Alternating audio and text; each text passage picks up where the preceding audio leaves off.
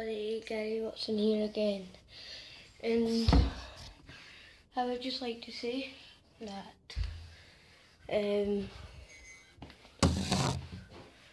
uh, next week, sometime next week, uh, we I have ordered uh, Bean Boozles.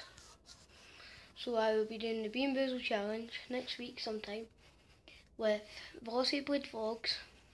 Sweet Nicky One Two Three, and my brother Josh. We'll be doing the Bean Boozle challenge. So yeah, I would just like to say that quick announcement for the Bean Boozle. Uh, so see you soon when we do the Bean Boozle challenge. Bye.